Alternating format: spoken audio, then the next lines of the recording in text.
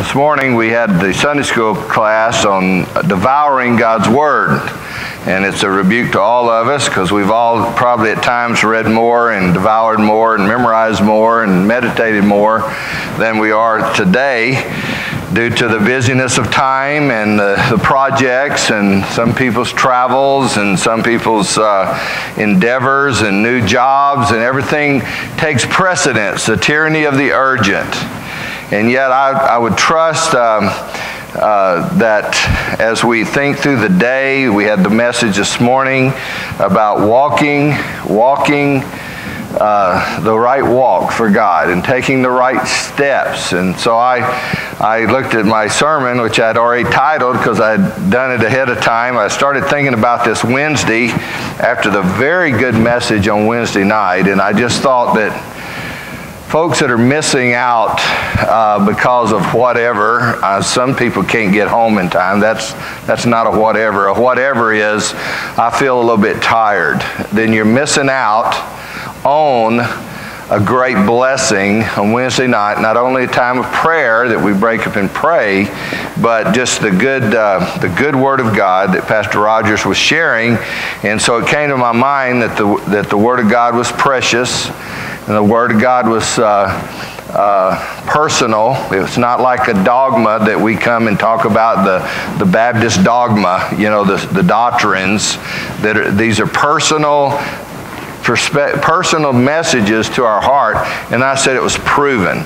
So I did, that just came off my uh, off my thoughts as I was listening to the the good message Wednesday night, and so I kind of worked that into a message, and then it went right along with his message this morning. Now, don't put pressure on us that our messages have to coordinate because we don't talk about it. It's just that we have, do have the same Holy Spirit, okay? But I don't know that he does that on every time. I don't think so. But unless you're doing your own messages, then you can then you can carry it over. But um, I would rather than just having thought about devouring the word this morning and then taking the right steps and then uh, and then this afternoon the riches of his word is saying, oh, I need to do more. I would I would rather look something like this. I'm gonna if I if I look into the word this week, I'm going to read God's love letter to me. And I can tell you just a little bit about that. Uh, when I was uh, trying to win Jody, Miss Jody, working very diligently, most of y'all know that I had bought the ring a year before I even asked her to marry me. It took me that long to pay for it and um, and so I, I, had been paying it on the layaway plan, you know, and then I had finally paid it off, and I and I asked her.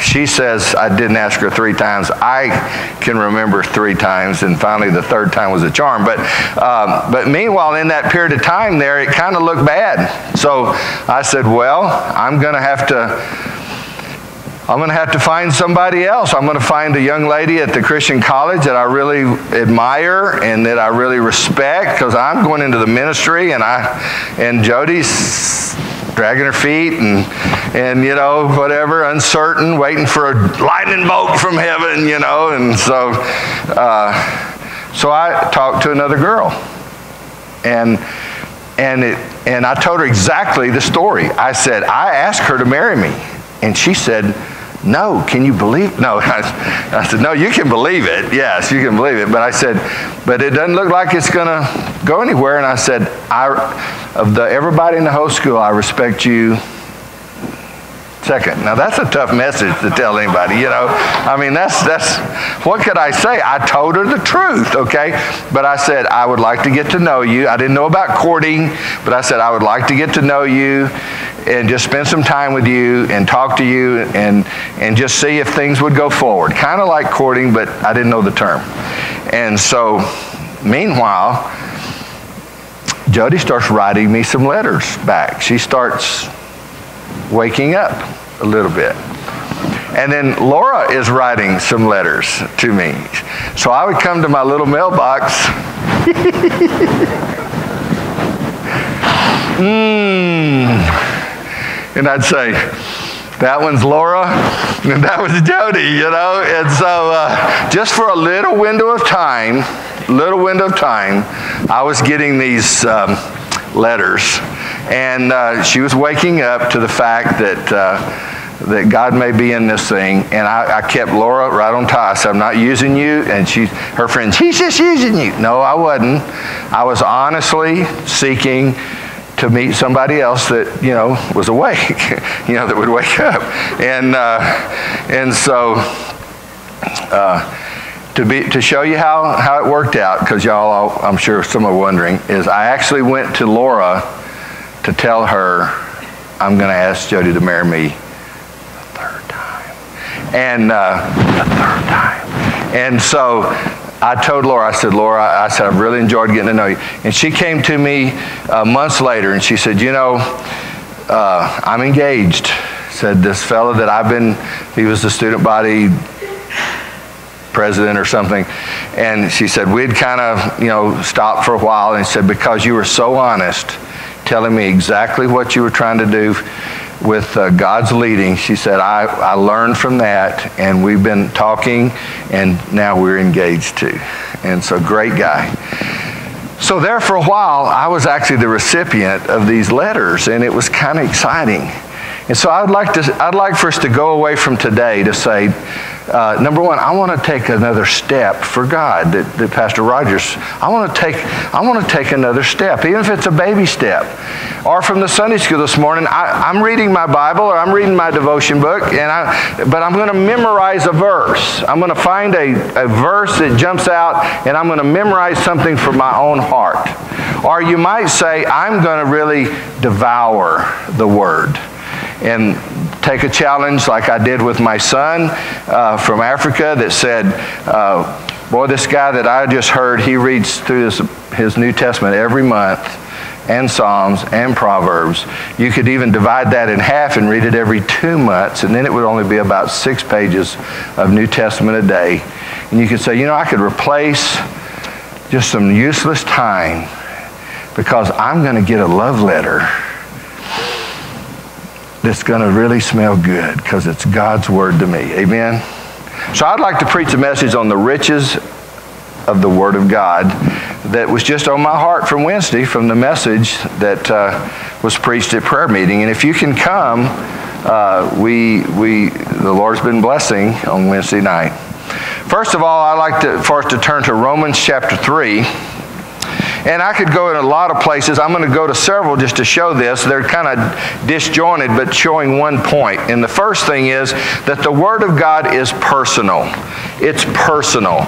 It, it's got your name right here in this book. It, it knows you. God knows you, and He will tailor His, His Word by the Holy Spirit to be personal to you. And, and that's the first thing I want to think about is that it's personal. In Romans chapter 3, if we're learning about our sin problem, it says, As it is written, there is none righteous, no, not everybody, right? No, not what? One. It, it, it's personal. It comes down to the very need of the sinner. There's, there's, he's concerned about every one of us. He's not willing that any or anyone should perish, but that we should all come to repentance. So God is concerned about the individual, and He wrote a book that's for you and for me. And so when I sat down to read this week, he's got he's going to have a message just just for me. Look in John, go back to John, Matthew, Mark, Luke, and John, and chapter 3. Just, just some, like I said, these are not necessarily coordinated other than the fact that it's showing that God knows us. He says, chapter 3 and verse 3, it says, Jesus answered and said unto him, Verily, verily, I say unto thee, except a man be born again, he cannot see the kingdom of heaven. So salvation, salvation is very personal, and the Word of God is very personal to our need for salvation. Uh, there is no household salvation in the term of uh, other than the fact that good parents can train their children, but their salvation does not carry over. Every youngster must be born again. Every child and daughter of a pastor or a missionary must have a personal one on one encounter with God, and many miss that because they hear it all their lives and they're around the Word of God and it's just second nature. And yes, I want to get, go to heaven. I'm, am I crazy? Reminded me of the, the missionary that the, the aviation missionary that we're that we're helping that gave his testimony and they were witnessing to him as a teenage boy. You guys can appreciate this. They, the, the, the, he went to church and the evangelist took him to, to get some pie after church. And so the evangelist's over there and he's saying, he's saying a verse like that, uh, there's none righteous, no not one. And he bought him a big piece of pie and ice cream, you know, bluebell on top of it. And, and the guy's eating his pie. And he says, he says, he says, there's none righteous, no not one, or all have sin. He said, do you understand that? And he goes, Mm-hmm, mm-hmm, mm-hmm, mm-hmm. I understand English. I heard the words. But my job right now is to eat this pie before the ice cream melts. And if I can finish the pie about the time the ice cream finishes, that's the will of God for him. See, that's, that's all that teenager's thinking. And he's saying, Do you understand? And he says, For God so loved the world that he gave his only begotten Son, that whosoever believeth in him should not perish, but have everlasting life. Do you understand? Mm-hmm. I understand this is really good pie. And man, I love Bluebell. And, uh, and I understand English. So when he got through eating his pie and he got through giving him the gospel, he said, Now let's just bow our heads and just repeat after me. If you understood what I said, did you understand? Mm hmm. Good pie. That's a good story. Jesus is a good guy. Would you repeat after me this prayer? Sure, I'll pray with you. You bought me a piece of pie. He asked Jesus to save him. And he didn't get saved until he was studying for the ministry. That's how subtle. Do you think that preacher was trying to mislead him? No. But he had been taught if you can get somebody to that magic, the magic words, then it's automatic. It's not automatic, except you repent. What, what does repentance look like? It looked like what was preached this morning. You start, you turn, you turn and start stepping the steps for God. You tell a young person that's living together out of matrimony that Christ uh, died for them and he expects them to repent of their sin. And what does it look like to them to put away that and to step for God and step away from that situation?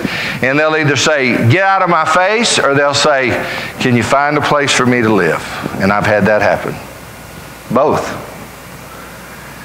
And they go on for God. You find a tax collector that says, What does repentance look like? I'll pay back everybody I cheated.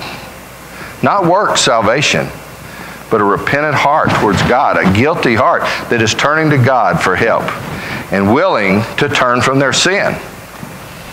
So the Word of God is very, very the riches, the richness of the Word of God is it's personal. You can pick up Proverbs this week. Maybe you want to just, if you're not reading it all, just pick up uh, whatever day it is and go to that number of Proverbs and start reading it and just, just say a little prayer and say, make something personal for me today. And boy, when he does, he'll show you. Maybe that's the verse you should write down, put in your pocket, put on your dashboard, and memorize it and make it personal. Well, there's plenty other places. The Holy Spirit comes and applies the Word of God. I could show you uh, Proverbs 3, 5, and 6. Trust in the Lord with all thine heart. Lean not to thine own understanding. In all thy ways acknowledge him, and he shall direct thy path. God wants us to take those steps for Him in the right direction, in the right way, and we're just all the time just, eh, we're like a car out of line, always wanting to run off the road, and, and we have to keep a little keep a little pressure on the steering wheel because it's trying to pull to the right or pull to the left on the oncoming traffic or something, and, and, and God wants to keep us in the center and, be, and have a personal direction and a walk with God. Secondly, not only is the Word of God personal, but it's pathworthy. And he's talking about the path today, and he's talking about the walk today. And I said, wow. Turn with me to Psalm 119.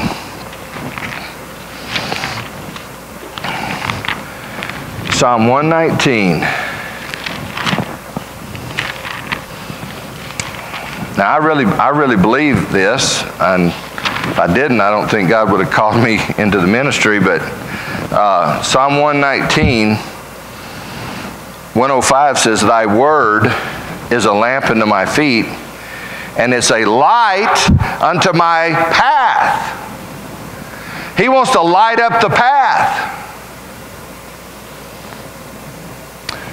My brother was in scouts just for a little time and i remember we went to the we went to a little thing they had out at the they had a family night there at their camp or something and we were walking down this dark path. I'll never forget this and this is good for pastor uh, a snake crossed the path and went not under but over my mother's foot. Over the foot and mother went over the moon. Because it's a dark path. By the way, if you don't know, Pastor, he hates three kinds of snakes. He hates big snakes, little snakes, and sticks that look like snakes. I like that. The Word, this Word is a lamp unto my feet. I mean, that wasn't a pleasant experience. I was a little boy, and I'm going, why is my mother jumping so high and screaming so loud? And she said, A snake! That snake was going, A person! and it was trying to get out of there. I could imagine that snake getting home and said, You won't believe what happened to me. I was just minding my own business. I was just slithering across the track, and this woman stuck her foot right up under my belly, and it scared me to death. If snakes could talk. That's what he would have said.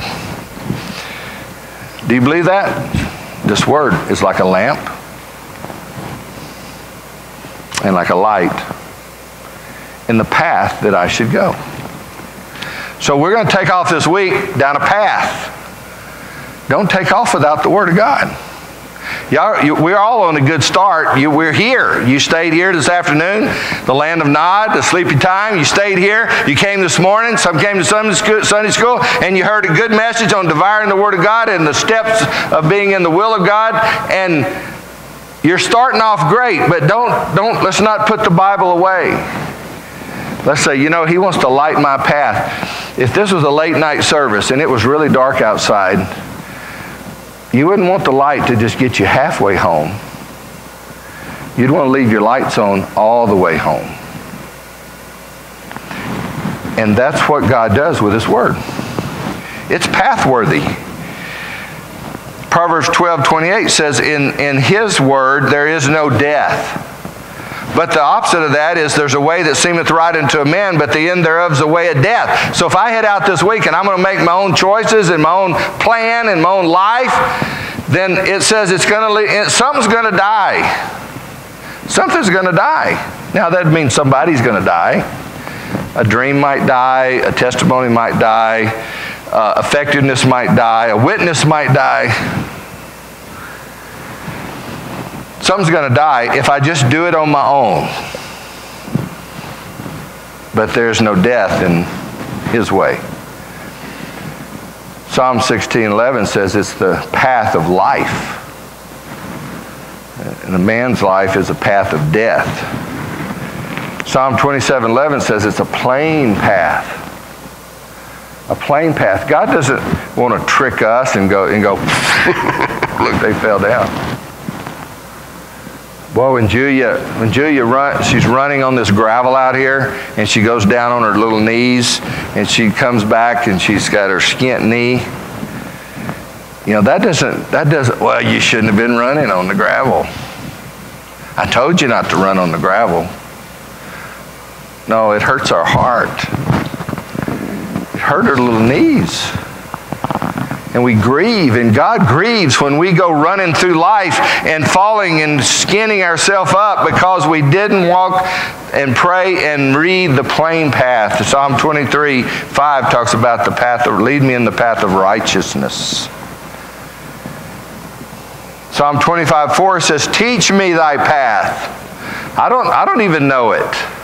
I'm walking some new ground. I'm learning some new paths myself. And I'm working at it. And it's great. We got help. We got vision. We've got energy to keep going for God. But there's some new things, and I'm learning, and Jody's learning, and, and I have to do that in every part of life, but so do you. So ask God for the to teach you His path. And Psalm 25:10 says it's a path of mercy and truth.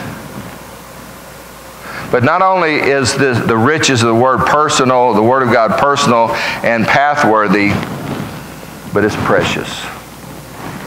The word of God is precious. Look with me in the New Testament at John chapter 1.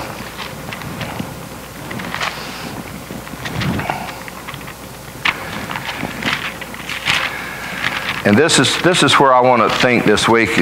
Uh, not so much, okay, I want to do more, I want to read more, uh, I want to try to up the, up the number or whatever. This is where I want to, I want to go this week and say, you know, this, I'm going to read some things that are precious. That's what I was thinking about Wednesday night. It's precious to be there under, under a prepared sermon that was just a blessing. And chapter 1 of John says, In the beginning was the Word, capital W O R D, and the Word was with God, and the Word was God. That'll help you a little bit with your Trinity there. I mean, at least the, deity of Christ. And we said, let us make man in our image. He's, the Trinity is present. But here we have at least two, and he says, And the Word was God, and the same was in the beginning with God. All things were made by Him, the Word, and without Him was not anything made that was made. In Him was life, and the life was the light of men. There's no question who that's talking about. That's talking about Jesus Christ, the Word and He's the living Word, and He's given us the written Word, and it's precious. It's precious. And go, so go to 1 Peter chapter 2, and you'll see uh, where it says it.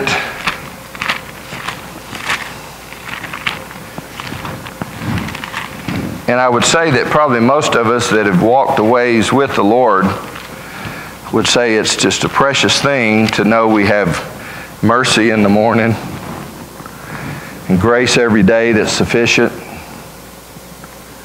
and promises, great and precious promises, and a friend that's sticking closer than a brother, and a plain path that's lit for us if we would choose to walk that way and look at His Word. In 1 Peter chapter 2 in verse 7 it says unto you therefore which believe he is precious. Who is he? The word. But unto them which be disobedient, the stone which the builder disallowed, the same is made the head of the corner. To some people, they've rejected him. Go back to verse 1. Therefore, laying aside all malice and all guile, hypocrisies and envies and evil speaking, as newborn babes desire the sincere milk of the word.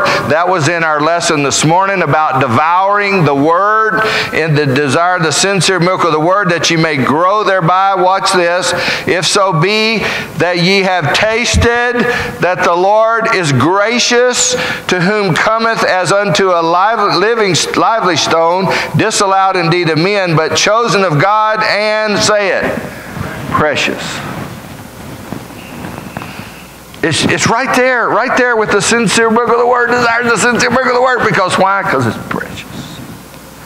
Because he's precious. So when you get the word, you don't say, I read my Bible. Check. you get to go to the mailbox and open it up and go, and you know that somebody took time to write you something to encourage you, and it's precious. And so you take the Word of God and you take this, this context of desire the sincere milk of the Word that you might grow and say, Oh, I want to grow. I want to grow. You young men better grow. God may be growing a young lady out there somewhere and she, she might get ahead of you. You better catch up with her now. As I said to y'all, watching my little granddaughter witnessing to Jehovah Witnesses, and they're, they're gathered around her and just eating up the word as she's teaching, you know, as a little 15 year old girl. Uh, I said, John, you better be praying for a young man somewhere around the world. And he says, I am. Keep up with Aletheia. She's a precious jewel. You know why? Because she, she's excited about the things of God as a young lady. Remember now thy Creator in the days of thy youth, before the evil days come nigh, and thou shalt say, I, have, I don't have time. Oh, I got to do so much. Young people, now is the time. Now is the time. Right now. Now is the time. And you know what it is for us that are older? Now. Because we don't know what tomorrow may hold. You know, we could, we could have a stroke and the mind wouldn't just focus anymore. It wouldn't focus anymore on the Word. So get it in there now because it's precious. So not only is the Word of God personal and it's pathworthy and it's precious, but it's powerful. Romans 1.16, Paul said about the gospel, the word of God, describing Christ's uh, gospel. He said, I'm not ashamed of the gospel of Christ, for it's the power, the dunamis of God. It's the power of God. Turn with me to Hebrews. This was in our lesson this morning, but it's totally separate, but it is, it is the same. Um, well, I went going the wrong way. Hebrews, back to the left just a little bit. Hebrews chapter 4. Hebrews chapter 4 in verse 12. It says, For the word of God is quick and powerful and sharper than any two edged sword, piercing even to the dividing asunder of the soul and spirit and of the joint and the marrow, and is a discerner of the thoughts and the intents of the heart. You know, we need to handle it with care because it's like dynamite and it's going to it's gonna get us if we'll be honest and we'll open up the word this week. It'll get us. It doesn't matter if we're preachers, it doesn't matter if we're missionaries, it doesn't matter if we're children, it doesn't matter if we're parents, it doesn't matter matter if we're husbands or wives, it doesn't matter if we're single or married, it will, it will pierce in there and help us understand the thoughts and the intents of our heart. And folks, as a Christian, we can't get along without that, or we're back on our own road and our own path. So it is powerful.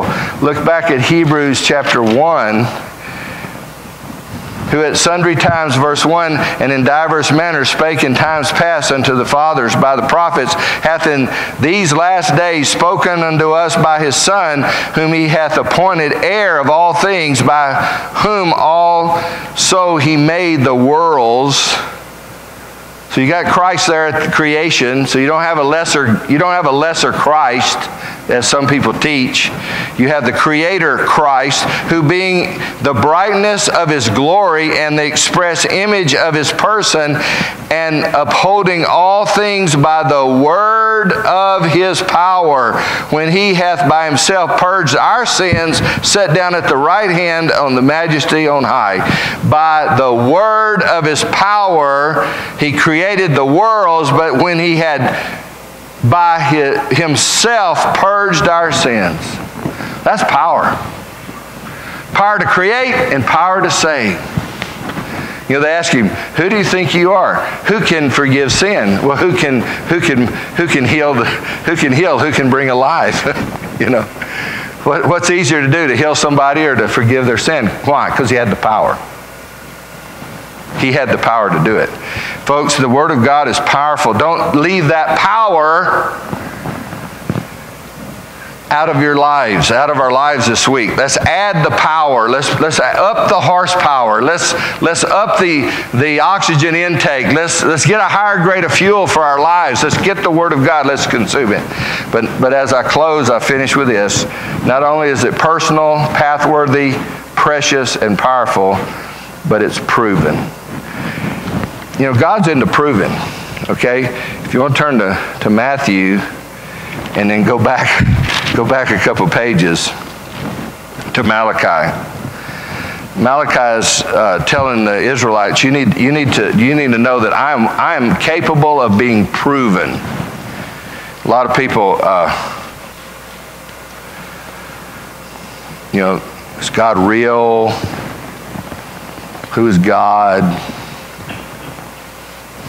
He says, prove it. He said, he said, you can prove some things. So here he's talking about uh,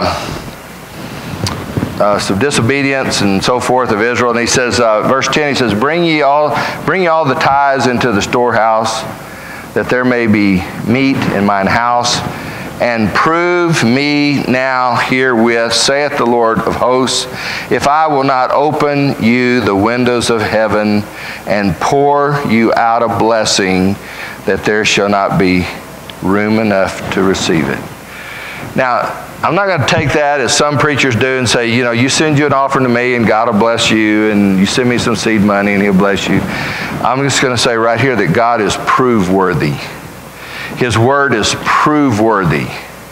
Now, you need to learn a lot of context about giving. Some people say, I'll give a little bit because I want to get something. And that's not what he's talking about. He's talking about you trust God, then you can prove Him and giving in Philippians, where it talks about God supplying all your needs, is a church giving collectively and, and in unity and caring for the needs and God blessing them as a group, not necessarily as an individual, although that happens. But he says, uh, prove me. Now, I don't know how I got this. I really don't know how I got this. I don't really remember any of my, my early pastors working on this very much. But somehow I got a hold as a teenager, a teenager, that everything I had belonged to God. One time I cleaned out my sock. My sock was my bank. Nobody would mess with my socks. It was, it was you know, don't touch that.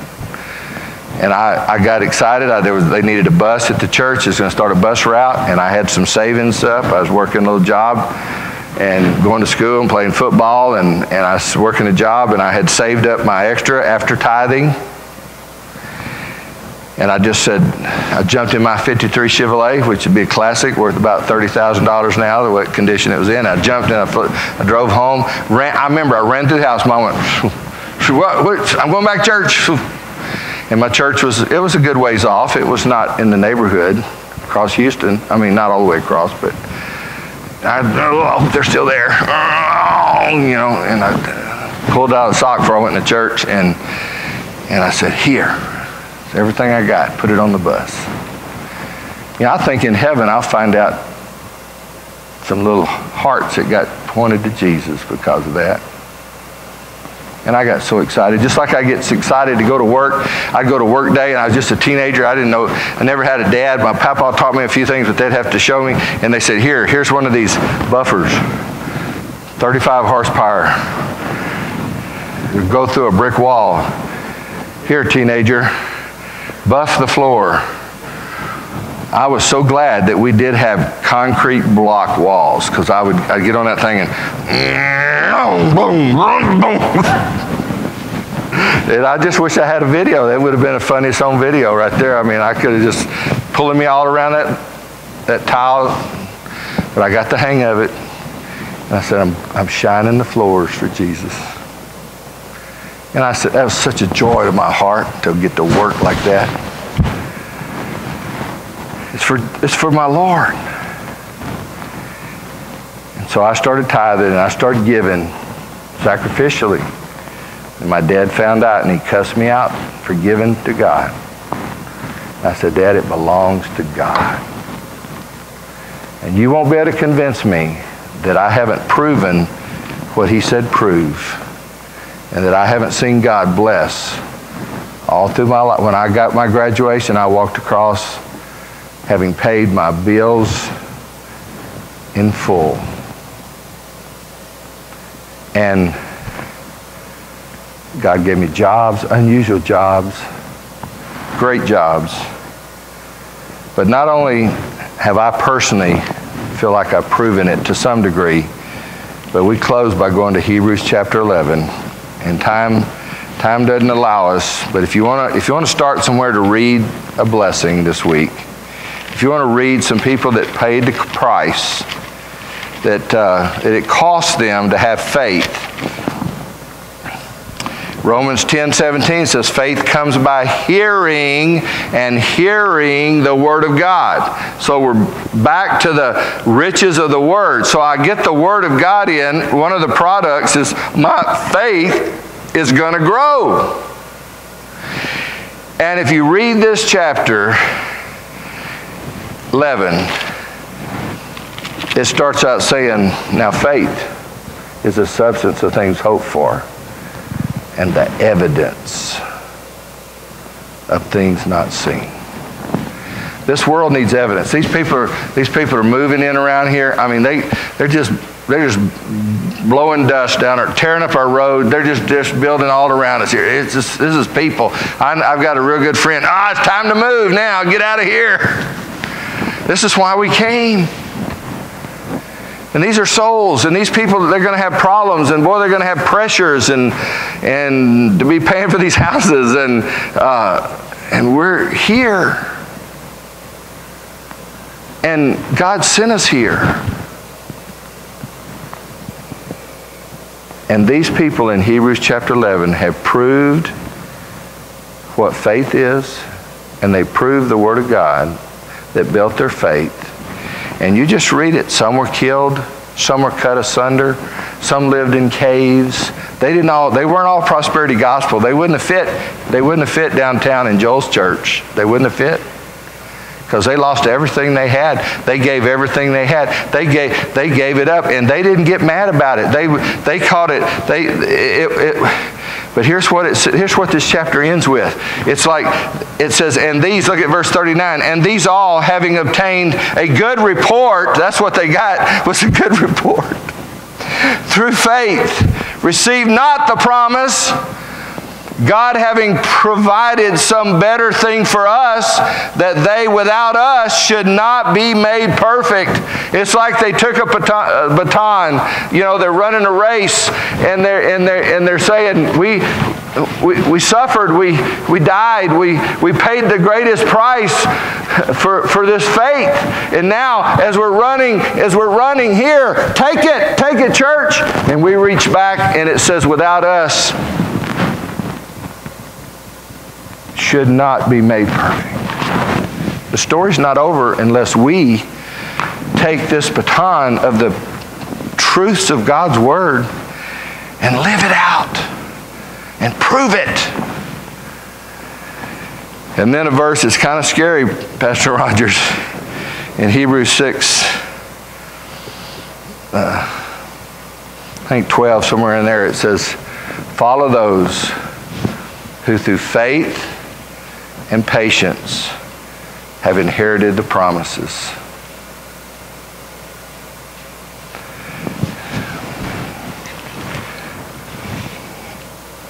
We both started pretty young as pastors, but through time now, we've both proven God. And it's okay to say, you know, don't follow me in everything because I'm still learning some things. But there's some things we know and it says, follow those who through faith and patience from the Word of God, faith comes by hearing the Word, it's precious, have inherited the promises. Take up the baton of, of the Hebrews 11 saints that died for their faith, that were drawn and quartered, that were tied to animals and pulled apart it said, You take up the baton and you say, I, to this generation, will prove by faith, what I learned from the Word of God, from the preachers of the Word of God, what I, what I see and what I, God leads me in, I will prove. Because this Word is a proven book, folks. So here's what I'm asking as I close this week. Whatever you're doing, I'm reading this much, or I'm doing this much, or I kind of used to memorize, or I kind of used to read more than I'm doing, or just wherever you are, just take another step and, and cherish the Word of God and look for the letter, look for the love letter from God. Let's pray. Father, we thank you that you have some things for us new every morning. You have your promises that are precious. You have your person, personal, personal Savior. We have not a not a corporate Savior, not a Baptist Savior, not a uh, a parent Savior, but we have a personal Savior. And if there's somebody here that's never clearly submitted and committed their life to Christ in repentance, saying, I, I know, I know, I, I know I'm not perfect, because it would take perfection, and there is none righteous, no, not one. And it takes humility, and it takes submitting to the righteousness of God that His his plan was to send his son to die in our place. And if there's anyone here, they know about God, they've talked about God, they believe in God, but they don't have the fruit of the walk with God. There's not a tug to, to follow those steps that he said this morning. Those are clear steps, those are biblical steps. And if there's not a tug in the heart to say, I, I need, the ne- I need the next step, and we need to make sure that we have the Spirit of God in us and not, the, not our own spirit with a little religion tacked on. The difference will be eternity. So, Father, I pray for the souls of our folks here and our friends and family. And I pray for everyone here, for all of us, including myself, to say this, this week I want to I want to read your letter. I want to I want to I want to see how much you love me. I want to follow your path. I want you to light my way. And I need to read the Word to do that. And maybe give me a verse to write down to just meditate on. Lord, I pray right now hearts are saying, I, I'm in. I'm going to do it. I'm going to take another step to please my Savior. And I'll thank you, Lord for all you've done. And I thank you, Lord, for what you're going to do. But to be honest, Father, every one of us needs to take a step. And every one of us needs to go forward and not sideways or backwards. With humility saying, Help me, Lord, to not be a drag on the Spirit of God working in this place. Help me not to grieve the Spirit. Help me to follow those who, through faith and patience, have inherited the promises. And we just humbly ask this now, because that's a fearful verse.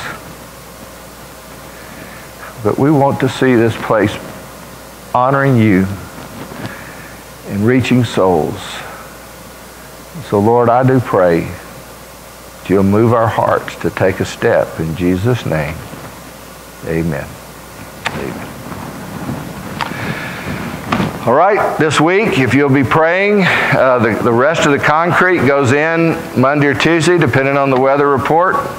And thankfully, we're the farther side of the, the, the, the clean side, so we just would res- rather the rain stay away for another day or two until we get all the roof on the trailer. And the concrete will go in, and then we'll work on the, the gates. And uh, just be praying. It's a big project. We're, we're not only doing the barndominium, but we're doing the trailer. And that's a double duty. That's a double double duty. Okay, and so uh, we've gutted we've gutted it out where it leaked, and there'll still be other places to repair. We want to do windows and some siding on that. So it's a, it's a big job. Pray for wisdom, and I'm sure thankful uh, missionary brother Terry's with us. Amen. And uh, So, Pastor, if you would close this